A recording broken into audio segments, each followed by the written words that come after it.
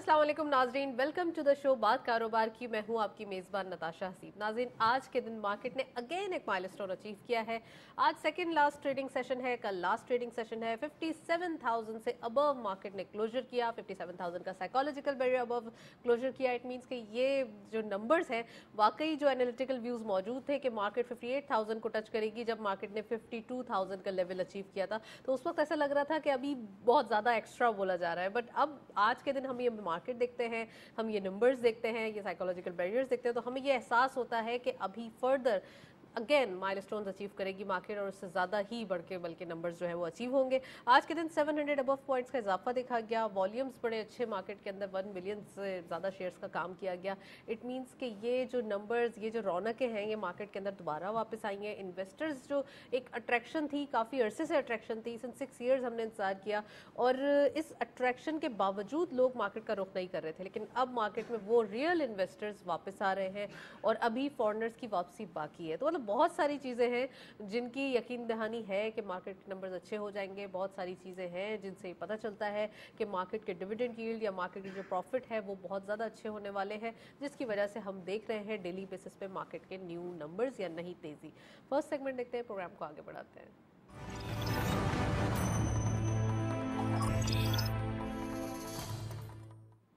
Topic of the day में आज हम बात करेंगे आईएमएफ का रिव्यू जो कि कंप्लीट हुआ स्टाफ लेवल एग्रीमेंट फाइनलाइज हुआ, जिसकी वजह से आज मार्केट ने बड़ा एक अच्छा रिएक्शन दिया। तो this is the news actually तो आज हम डिटेल डिस्कस करेंगे स्टॉक मार्केट के हवाले से, क्या रीजंस हैं, साथ साथ आईएमएफ के हवाले से भी बात करेंगे।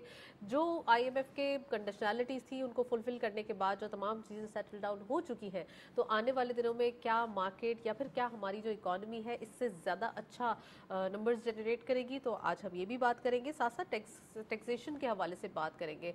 बैंक्स के प्रॉफिट पे विंडफॉल एक टैक्सेशन की बात हो रही है तो इसका क्या रिएक्शन होगा और इसके एक्चुअली कॉन्सिक्वेंसेस के हवाले से ही बात करेंगे। तो जो बैंक्स अभी बड़ा अच्छा परफॉर्म कर रहे हैं मार्केट में, क्या इसके प्रॉफिट्स पे भी थोड़ा सा एक इशू आएगा? So we will have discuss it हमारे साथ यहाँ पे मौजूद है पैनल उनको खुशामदीद कहते हैं। सलमान नकवी साहब ने हमें ज्वाइन किया है। आप इकोनॉमिस्ट हैं एजुकेशनिस्ट भी हैं उनको खुशामदीद कहते हैं। अस्सलाम वालेकुम सलाम। वेलकम टू द शो और हमारे साथ मौजूद हैं अहमद अजीम अलवी साहब। आप मेंबर मैनेजिंग कमेटी हैं के के फॉर्मर उनको खुशामदीद कहते हैं। अस्सलाम welcome. To the show so program का बाकायदा आगाज़ करेंगे। मैं सलमान साहब से पूछना चाहूँगी। सलमान साहब fundamentally strong market finally performance की तरफ़ बूस्ट कर रही है।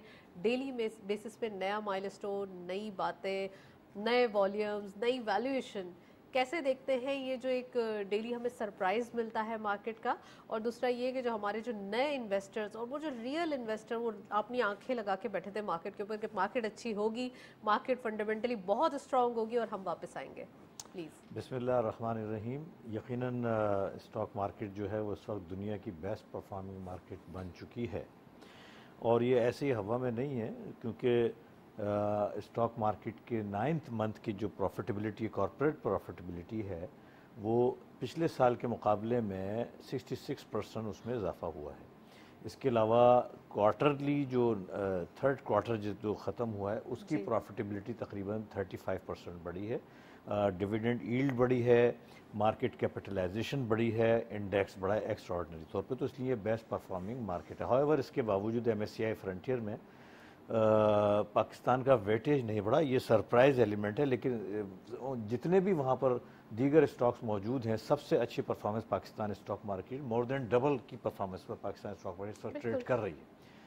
तो बहुत सारी वजूहत हैं मैक्रो इकनॉमिक्स इंडिकेटर्स जो हैं, वो पॉजिटिविटी की तरफ़ आ रहे हैं। Slowly gradually current account deficit trade deficit control में आ रहा है। एल एस आई में क्वार्टरली जो रिपोर्ट है पॉजिटिविटी आई है बड़े अरसे के बाद एलएसएम ग्रोथ में एल एस एम ग्रोथ जी हाँ लार्ज स्केल मैन्युफैक्चरिंग में जो है पॉजिटिविटी काफ़ी अरसे के बाद जो है वो नज़र आई है बड़ी खुश आइन बात है बहुत अच्छी बात है। इसके साथ कायबोर जो है चौबीस पच्चीस परसेंट चल रहा था उन्नीस परसेंट पर आ गया। ट्रेजरी बिल पे ईल्ड इक्कीस परसेंट पे आ गई जो हम्म। बाईस परसेंट पर थी। यानी इंटरेस्ट रेट सिनेरो भी वीक है। करेंसी आज से दोबारा वीक होना डॉलर दोबारा डेप्रिशिएट करना शुरू कर चुका है। आईएमएफ का रिव्यू सक्सेसफुल हुआ है। बहुत सारे रीज़न है। मार्केट अभी हार्डली चार की प्राइस अर्निंग पर है। Still it is very cheap और बहुत सारी ऐसी डेवलपमेंट्स स्टॉक मार्केट के हवाले से हमारी इकोनॉमी के हवाले से हो रही हैं। क्राउन प्रिंस जो हैं सऊदी अरब के उनके आने की बातें हैं जो 10 अरब डॉलर की जो है सरमायाकारी पाकिस्तान में करेंगे रिफाइनरी लगाएँगे। आ, फिर आईएमएफ का अगर सवाल आप अभी मैं बता दूँगा जवाब करेंगी तो उसकी वजह से अगर आप बताना अच्छा, चाहते हैं कुछ तो बिल्कुल। वो बहुत सारे जो हमारे बायोलेटरल और मल्टीलेटरल डोनर्स हैं उनकी फंडिंग ब्लॉक थी वो आएगी इन्वेस्टमेंट आएगी क्रेडिट रेटिंग में इजाफा होगा। तो ये वो सारी चीज़ें हैं जो मैं तो एक एक लाइन में बता रहा हूँ इसके पीछे पूरी कहानी जिसकी वजह से हम स्टॉक मार्केट को बेहतर देख रहे हैं। ये कोई फ्लूक नहीं है ये कोई स्पेकुलेशन एक्टिविटी नहीं है। फंडामेंटल ग्राउंड पे स्टॉक मार्केट बढ़ी हुई है। मैं इसके लिए मौजूदा हुकूमत की फाइनेंशियल टीम और जनरल आसिम मुनीर साहब को खराज तहसीन पेश करता हूँ कि उनकी कोशिशों ने रुख बदल दिया है हवाओं का। और ये तो बड़ी खुशाइन बात है। हमारे बिजनेसेस चलेंगे हमारे मुल्क की तरक्की होती है तो ऑटोमेटिकली इकोनॉमी आपकी बिल्कुल स्मूथ हो जाती है। जी हाँ सबसे जो क्योंकि अनफॉर्चुनेटली हम पीछे रह गए थे सराउंडिंग में अपने जितने ममालिक हैं बहुत आगे जा रहे थे लेकिन अल्हम्दुलिल्लाह जिस तरह से ये चल रहे हैं और अल्लाह ताला ऐसे ही करते रहें इसी तरीके से मेहनत करते रहें तो मुझे यकीन है कि हम स्टेप मज़ीद स्टेबिलिटी हासिल करेंगे। वेल well, uh, बड़ा ज़बरदस्त और डिटेल आपने एक एक चीज़ पॉइंट टू पॉइंट बताया। मैं अजीम साहब से इंट्रोडक्टरी कमेंट लूँगी। अजीम साहब बड़े ही खुशाइन नंबर्स मार्केट का भी आपने डिटेल इंट्रोडक्शन सुना कि बहुत अच्छे नंबर्स चल रहे हैं और ये नंबर्स काफ़ी अरसे बाद आए इकॉनमी पे आपका क्या एक एनालिसिस है? क्योंकि इकॉनमी के नंबर्स भी ऑटोमेटिकली इन्फ्लुएंस होते हैं क्योंकि स्टॉक मार्केट एक शेडो आपको दिखाती है कि जो एक ऑन गोइंग सिनारी होता है। आपको क्या लगता है कि बिजनेसेस कैसे लग रहे हैं? और आने वाले दिनों में जैसे जैसे ये एक ऑप्टिमिज्म क्रिएट हो गया है तो हमें कैसे सरप्राइजेस मिलने वाले हैं? बिस्मिल्लाहिर्रहमानिर्रहीम। नताचा फ़र्स्ट ऑफ़ ऑल मैं मुबारकबाद दूँगा स्टॉक एक्सचेंज से मुंसलिक लोगों को कि आज 57,000 से ऊपर इनका पॉइंट्स पॉइंट से ऊपर इनका चला गया which is a very good news for Pakistan and people who are in stock exchange जो उनसे मुंसलिक हैं। Uh, मैं उम्मीद करता हूँ जो बकिया बिज़नेस हब्स हैं जो बिज़नेस हाउसेज हैं वो भी अच्छा वक्त इंशाल्लाह आने वाले दिनों में ज़रूर देखेंगे। और उसके लिए बड़े देखें हर बिज़नेस की अपनी अलग ग्राउंड रियलिटी होती है। तो सस्टेनेबिलिटी जो है ना sustain policy long term policy long term economic policy इसका ज़रूर इंतज़ार है सबको कि जी लॉन्ग टर्म इकोनॉमिक पॉलिसी है। इस पर हम अपनी फुटिंग स्ट्रॉन्ग करें हमें क्या आगे काम करना है वो हम करें। जैसे अनफॉर्चुनेटली अभी हम गैस की रेट्स हमने अभी बढ़ाए हैं। हम्म। ये इंडस्ट्री को इसने बड़ा धचका पहुँचाया है। हमें आगे देखना होगा कि हम इसको कैसे कम करें और कितने अरसे के लिए हम जो भी लोग हैं जो से काम करते हैं मुतासर हुए हैं इससे उनको हम कितने अरसे के लिए कह सकते हैं कि अगले दस साल के लिए अगले पंद्रह सालों के लिए ये रेट हमने कर दी। उसके लिए बड़ा ज़रूरी है कि जो चोरी हो रही है गैस की लाइनों में जो लीकेजेस हैं वो हम उनको रोकें बिल्कुल लाइन लॉसेस को रोकें या अगर कहीं चोरी हो रही है तो उसको आईनी हाथों से रोकें। देखिए मुल्क ये मुल्क की ख़जाना है। चाहे बिजली हो जाए पानी हो जाए गैस हो जाए जो लोग चोरी कर रहे हैं ये तो कौम को नुकसान पहुँचा रहे हैं ना। जो लोग के बिल पे कर रहे हैं वो बेचारे उनका भी बिल पे कर रहे हैं जो कि चोरी कर रहे हैं। तो हमें इस पर भी बड़े मुझे पूरी उम्मीद है कि इन ताला ये गवर्नमेंट भी और जो लोग इससे मुंसलिक हैं सारे इदारे मिलकर इस पर काम करेंगे और इनको रोकेंगे। तो इन बिल्कुल मैं हमेशा ही कहता रहूँ जी हमारा फ्यूचर बहुत ब्राइट है। इन ताला will go up like anything और हम अल्लाह ने चाहे इन हम जो पड़ोसी ममालिक हैं सही है हम उनके साथ साथ इंशाल्लाह हम भी बहुत तरक्की करेंगे। हमारा टाइम है तरक्की करने का। जिस कौम की 72 परसेंट यूथ हो वो तो डिज़र्व करती है तरक्की करना। वो देखे ना 72 परसेंट यूथ को हमने नौकरी पे लगाना है उनको हमने मुलाजमतें देनी है उनको हमने बिज़नेस देने उनको हमने प्रोग्राम्स देने यूथ बिल्कुल मैं भी यही कहने वाली थी हमें नौकरी पे नहीं हमें उन्हें बिज़नेस करवा हर हर चीज़। देखिए कुछ लोग आएँगे कुछ लोग मतलब कोई बढ़ई होगा कोई इलेक्ट्रिशियन होगा कोई चार्टर्ड अकाउंटेंट होगा।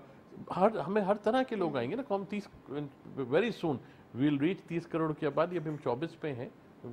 तो हमें बहुत आगे हमें तो पंद्रह बीस साल देखना होगा। अभी इतनी जल्दी हम इतनी सारी आबादी नहीं बढ़ाने वाले। देखिए हमें बीस साल कम से कम बीस साल को देखना होगा। बीस साल बाद हम कहाँ खड़े विजन सेट करना होगा बिल्कुल बिल्कुल बहुत ज़रूरी है। This is the right time तो आई होप के जी थिंग्स विल गेट बेटर इंशाल्लाह ताला। जब तक कि ये स्टेक होल्डर्स को जो कि अभी हो रहा है मैं आपको बताऊँ in this government stakeholders को साथ लेके चल रहे हैं। स्टेक होल्डर्स आपको ग्राउंड रियलिटी बताते हैं।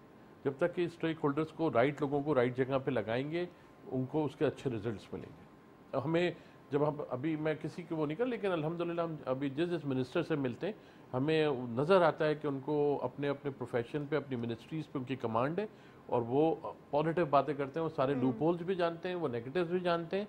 जैसे अभी आप देखें ना कि जो यूनुस ढाका साहब हैं उन्होंने कहा ठीक है जी हम अभी क्रॉस सब्सिडी ख़त्म कर रहे हैं हम और चीज़ें ख़त्म वो जानते हैं इन चीज़ों का लोगों का नुकसान है वो उस पर काम करते हैं क्योंकि उन चीज़ों को जानते हैं। इसी तरह हमारी फाइनेंस मिनिस्टर हैं, वो इतनी पुरानी वो चीज़ों को जानती हैं, क्या चीज़ कहाँ कैसे है, वो ब्राइट माइंड है इन ताला हम हम निकल जाएँगे इन चीज़ों से, अल्लाह ने राइट सलमान साहब मैं थोड़ा सा आपके ही जो कमेंट में टेक्निकल सवालात हैं उन्हीं के बारे में पूछना चाहूँगी।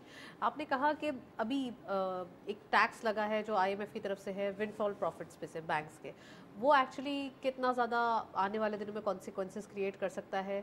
अबाउट के बैंकिंग से अभी हम स्टॉक मार्केट के हवाले से ही बात करें तो बैंक्स की आगे परफॉर्मेंस होगी फिर वो जो डिविडेंड देते हैं मैं उसकी बात कर रही हूँ। देखें पहले तो ये इस गवर्नमेंट ने एक क्योंकि आईएमएफ का ये शक था डाउट है कि जो हमारा रेवेन्यू टारगेट है तकरीबन 9.4 ट्रिलियन रुपीस का है वो हम शायद अचीव ना कर पाएँ तो उसके लिए आईएमएफ का प्रेशर था कि आप फर्दर टैक्सेशन इम्पोज करें ताकि वो रेवेन्यू अचीव हो सके।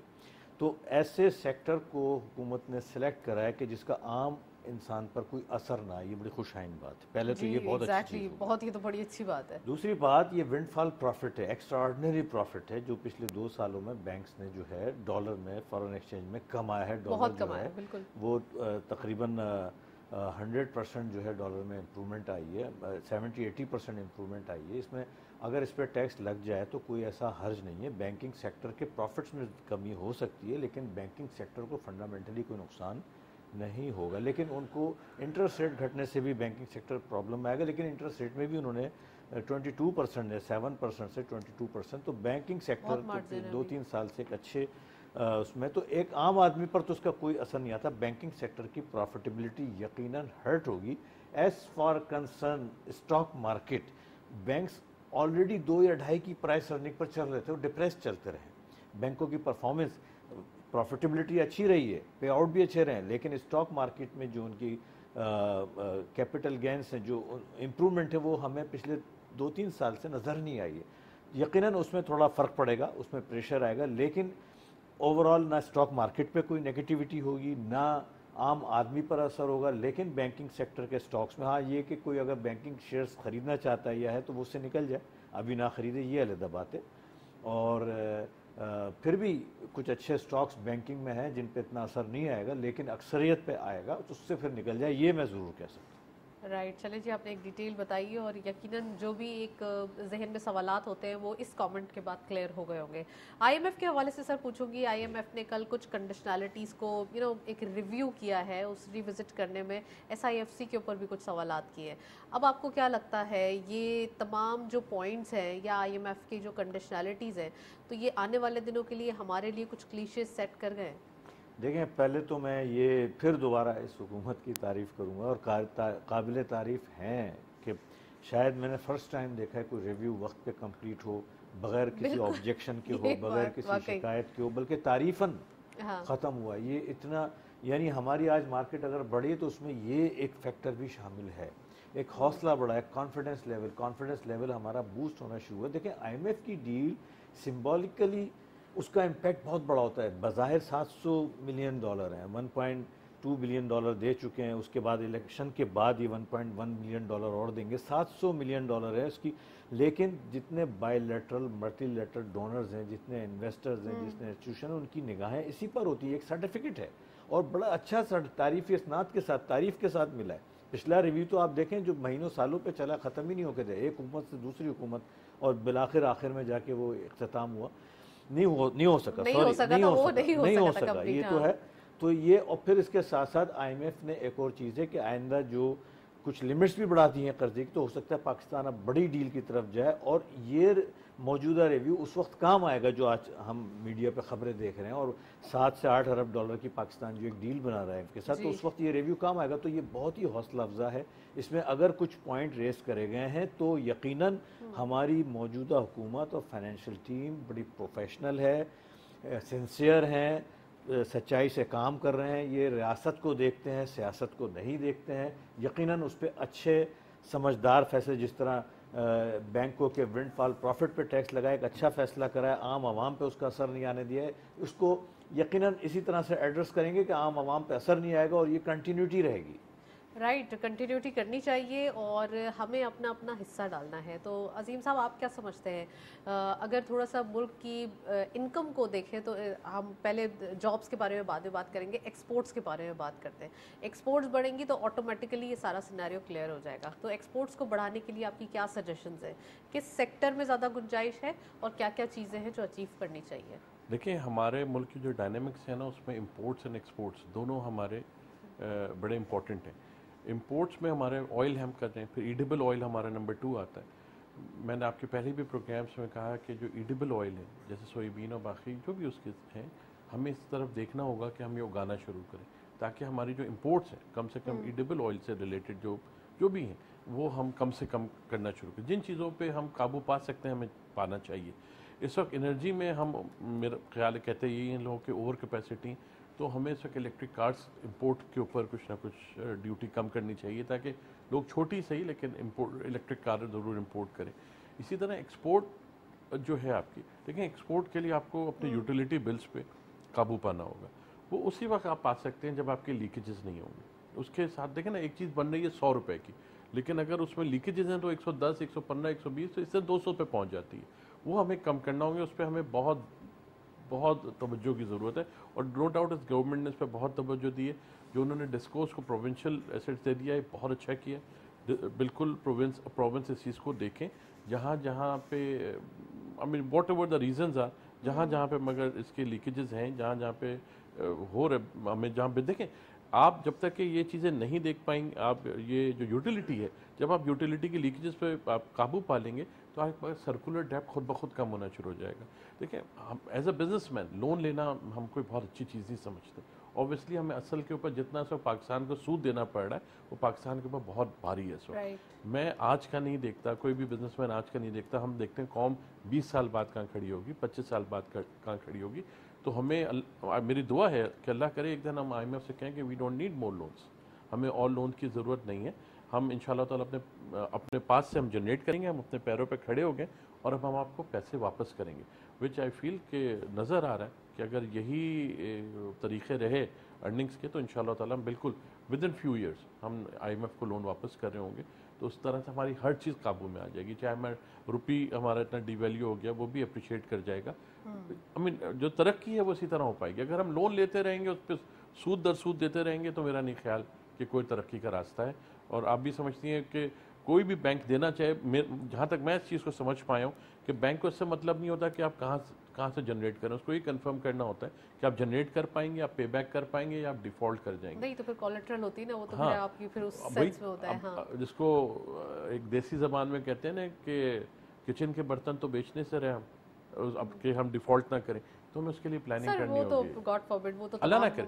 लेकिन देखिए विदाउट प्लानिंग पीपल पहले भी इतने ज़्यादा हाँ। खतरात नहीं थे जितने बताए गए लेकिन तो अब हम बातें तो सब रूमर्स तो होते हैं उनकी वजह से देखे ना हमने हाँ। कितना ज़्यादा चीज़ें सही और अब हम स्टॉक मार्केट को। ही देखते हैं तो उससे ही पता चलता है कि सारी चीज़ें अल्लाह का बहुत शुक्र है। बिल्कुल हमें अल्लाह का शुक्र अदा करना चाहिए कि हम अच्छी खबरें सुनने हम सुनना शुरू हो गई अच्छी न्यूज़ आना शुरू हो गई एंड आई होप कि अल्लाह करे दुनिया के हालात भी बेहतर हों, ये दो जो जंगें चल रही हैं, उसके बाद पेट्रोल कम हो तो अच्छे हालात शुरू हो जाएँगे पेट्रोल से आ, मैं सवाल आ, करना चाहती हूँ पेट्रोलियम के हवाले से ही। सर सलमान साहब लोकल मार्केट में भी पेट्रोलियम के प्राइसेस कल अनाउंसमेंट की गई। एक माइनर सी कमी दो रुपए की लेकिन एक अच्छा चेंज आया।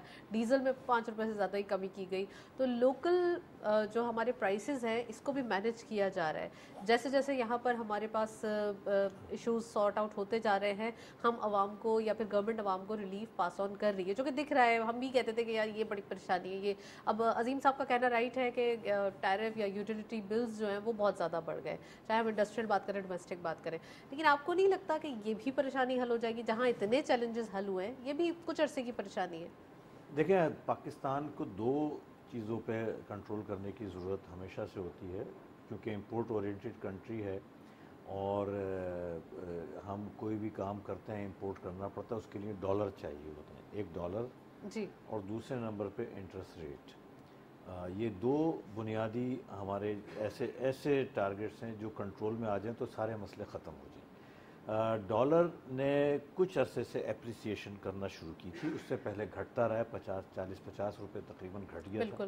फिर उसके बाद से मुसलसल सात आठ दिन पंद्रह दिन शायद दस दिन तक जो है वो अप्रिशिएट करता रहा है। ये वजह है जिसकी वजह से पेट्रोल जो है वो सिर्फ़ एक माइनर क्वांटिटी लेकिन फिर भी कम हुई आ, कम हुई। वरना अगर ये जिस रफ्तार के साथ डॉलर नीचे आ रहा था इंशाल्लाह मुझे लग रहा है अब होगा फिर। सर हमने एक तो, वक्त देखा चालीस रुपए की भी कमी की गई थी वो भी हाँ। एक वक्त था और वो भी पहली बार था आई थिंक हिस्ट्री में। शायद इतनी ज़्यादा क्योंकि इतनी ज़्यादा कमी कभी नहीं की गई थी। और अगर ये डॉलर इसी तरह डेप्रिशिएट करता रहता तो इतनी ही कमी और हो जाती। लेकिन मुझे उम्मीद है कि अब आईएमएफ की जब ये डील हो गई है तो अब जो इन्फ्लोस बढ़ेंगे और रेमिटेंसेस बढ़ रही हैं एक्सपोर्ट भी बढ़ रही हैं अलहमदिल्ला वो अपनी जगह है करंट अकाउंट डेफिसिट में कमी तो दो बिलियन डॉलर का हमें वहाँ से फ़ायदा होगा। तो ये वो चीज़ें हैं जो डॉलर के इन्फ्लोस को बढ़ाएँगी और डॉलर एक्सचेंज रेट पे जो प्रेशर है कम होगा तो डॉलर जितना नीचे जाएगा उतनी ही हमें पेट्रोल की हमें सहूलतें मिलेंगी। हमें ये कि हुकूमत को चाहिए कि पेट्रोल के जो अखराज हैं उस पर कंट्रोल करे। पावर का इस्तेमाल जो हमारे यहाँ स्कीम आती रहती है कि छः बजे बंद हो जाएँगी सात बजे बाज़ार बंद हो जाएँगे उस पर अमल दरामद नहीं होता है। मैं समझता हूँ उस पर अमल दरामद हो।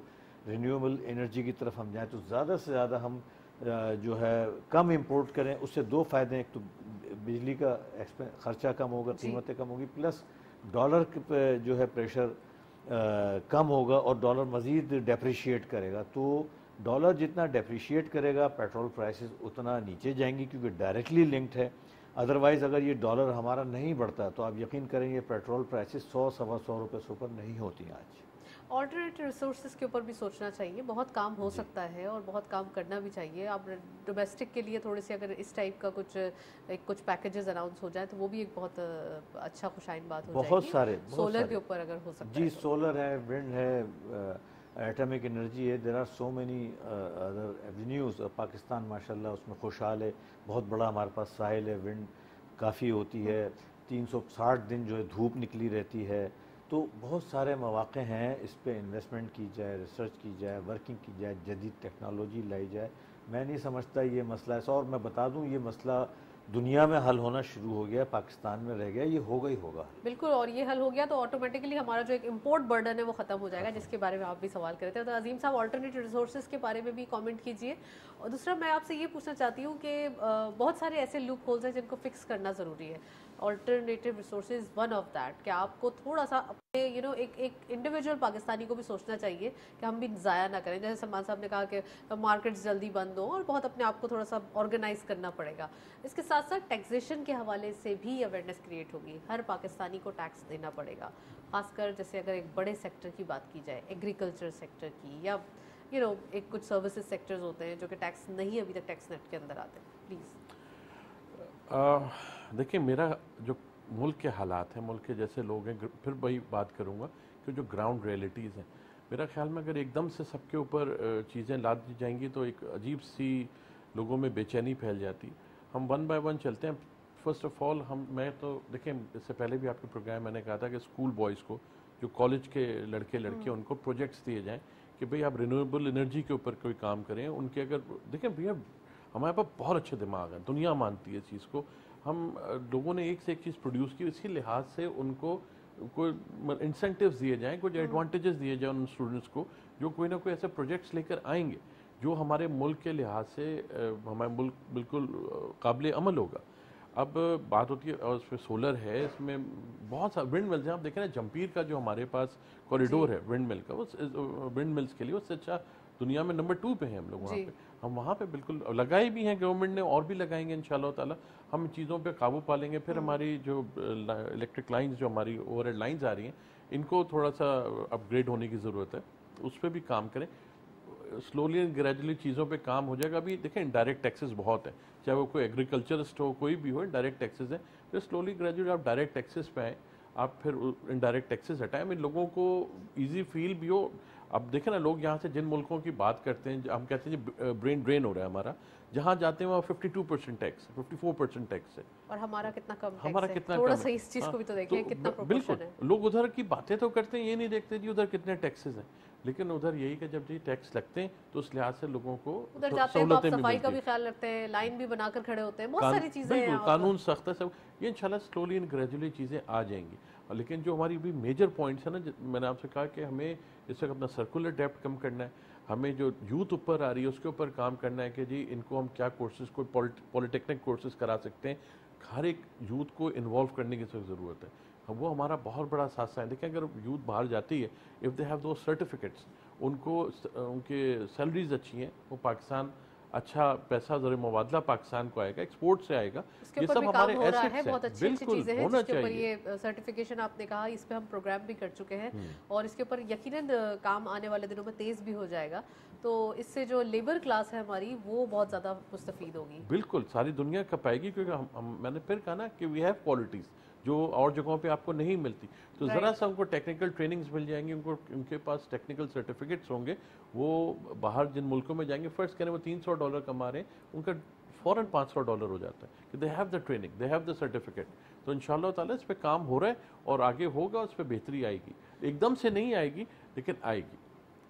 जो स्पीड है उसके हवाले से अगर देखें तो लगता है कि जल्दी आ जाएगी। इट्स नॉट टेक टाइम कि आपको पहले तो उम्मीद नज़र नहीं आ रही थी अब उम्मीदें बहुत सारी हैं। सलमान साहब से पूछूँगी सलमान साहब अगेन मैं स्टॉक मार्केट के हवाले से बात करूँगी। स्टॉक मार्केट का जो ये एक सिनेरियो क्रिएट हो रहा है तो क्या मार्केट अभी कोई करेक्शन के मोड में है या अभी सिर्फ़ एक अपवर्ड डायरेक्शन हमें दिखाई दे रही है? देखें करेक्शन या ये तो बहुत सारे फैक्टर्स पर डिपेंड करा जाता है जो अभी नज़र नहीं आ रहा है ब- बज़ाहिर। और अभी कोई कोई ऐसा इंटरनेशनल लेवल पे कोई ऐसी बात या कोई जैसे एक जंग अचानक शुरू हो गई थी। अ, कोई ऐसा खुदा न खास्ता कोई ऐसा ना हो तो मार्केट जो है उसको असर लेती है। मगर एक चीज़ जो अच्छी है वो ये है कि अभी हमारी जो प्राइस अर्निंग है वो हार्डली चार है जो बहुत सस्ती है दुनिया में। इस रीजन में सबसे सस्ती दुनिया में सबसे सस्ती है। और इसमें इसका मतलब ये हुआ कि डाउन साइड कम होती है। अगर कोई ऐसी प्रॉब्लम भी होगी तो एक लिमिटेड करेक्शन ज़रूर जो है वो हो सकती है। लेकिन कोई ऐसी बड़ी प्रॉब्लम या मार्केट को कोई बड़ी ऐसी फ़िलहाल लग नहीं रही। लेकिन इसी तरीके से अप साइड का रूम भी बहुत मौजूद है। Continuity of the good news जिस तरीके से चल रही हैं और जिस तरह से अब तो चीज़ें मैं मैं समझता हूँ बहुत सारी हैं जो पाइपलाइन में जो अच्छी खबरें आएँगी इंशाल्लाह आ सकती हैं। तो उस पे उस सिनेरों में मार्केट अभी काफ़ी नीचे है। लोग समझ रहे हैं कि इंडेक्स को देख रहे हैं लेकिन प्राइस अर्निंग के हिसाब से और फिर वैल्यूएशंस के हिसाब से जो छः साल पहले मार्केट की वैल्यूएशन थी उसमें अभी भी सिक्सटी सेवेंटी परसेंट का फ़र्क है। तो अप साइड गुंजाइश काफ़ी है डाउन साइड गुंजाइश कम है और करेक्शन यकीनन पार्ट ऑफ़ मार्केट है। किसी न्यूज़ एंड व्यूज़ और बहुत सारे रीजंस के तहत करेक्शन होती रहती है लेकिन समटाइम्स मार्केट सेटल डाउन भी होती है ना कुछ Set- ज़्यादा आगे बढ़ जाती है तीन हज़ार चार हज़ार पॉइंट्स के बाद थोड़ी सी करेक्शन होती है। अच्छी हेल्दी। हेल्दी डाइजेशन होना ज़रूरी है। और जो जो अब जो मार्केट चल रही है एक वन साइडेड चल रही है हमें लग रहा है लेकिन ऐसा नहीं है। अ, कुछ सेक्टर्स होते हैं जो करेक्शन पर चलते हैं और कुछ पॉजिटिविटी दिखाते हैं दो तीन दिन करेक्शन चली है। और वो एडजस्ट होते गए। तो जब अच्छी मार्केट होती है उसका सिलसिला इस तरह से भी होता है। इंशाल्लाह मुझे उम्मीद है कि कोई ऐसी बड़ी प्रॉब्लम मार्केट को जो कोई है इन्वेस्टमेंट आ जाती है नहीं एस लग। आई रही। एफ़ सी के हवाले से कोई अच्छी एफ़ डी आई आ जाती है जी हाँ जी हाँ। तो क्राउन market के जो है सऊदी अरब के आने के प्लान कर रहे हैं जो मैं समझता हूँ एक बड़ा हमारी हौसला अफजाई भी होगी प्लस एक बड़ी इन्वेस्टमेंट भी आएगी और स्टॉक मार्केट यकीनन इस फैक्टर को भी जो है वो मद्देनज़र रख के इम्प्रूवमेंट उसमें नज़र आ रही है। आगे बहुत सारी चीज़ें हैं, बहुत सारी डेवलपमेंट्स हैं और इलेक्शन से पहले पहले जब तक कि सियासी अमल शुरू होंगे, मैं समझता हूँ मुझे प्रॉब्लम नहीं लग रही। उसके बाद देखी जाएगी क्या होता है। अच्छे इन्वेस्टमेंट के चांसेस मौजूद हैं। एस आई एफ़ सी एक प्लेटफॉर्म जिसकी वजह से काफ़ी सेक्टर्स भी फ्लरिश हो रहे हैं। आप क्या समझते हैं माइनिंग मिनरल के हवाले से बात हो रही है? बड़े अच्छे अच्छे चांसेस हैं कि यहाँ पर कोई जैसे अभी हम ऑफ़ द रिकॉर्ड बात कर रहे थे सलमान साहब से कि हमारे पास डिस्कवरीज भी हो रही है पेट्रोल के हवाले से और गैसेस के हवाले से। अब अब ये न्यूज़ जो एक कंपाइल होकर एक अच्छा सिनेरियो क्रिएट कर रही है तो अजीम साहब अब आपको क्या लगता है बिजनेसेस के लिए कि यंगस्टर्स को क्या मैसेज देंगे? कि अभी आप ज़रा देखिए अपने टारगेट सेट करें आप आएँ क्योंकि आपने आरएनडी की बात की ऑफ़ कोर्स आरएनडी तो होती ही है हमारे यहाँ बहुत सारे इंस्टीट्यूट्स भी मौजूद हैं हर यूनिवर्सिटी में भी होती है और आई एम श्योर कि ये पढ़ाया भी जाता है। हम्म। अब आप आने वाले दिनों के लिए क्या सजेशन देंगे? ऑन्टरप्रनोरशिप कल्चर के हवाले से लोगों को एग्जैजरेट करें कि वो थोड़ा सा आएँ आप आगे बढ़ के।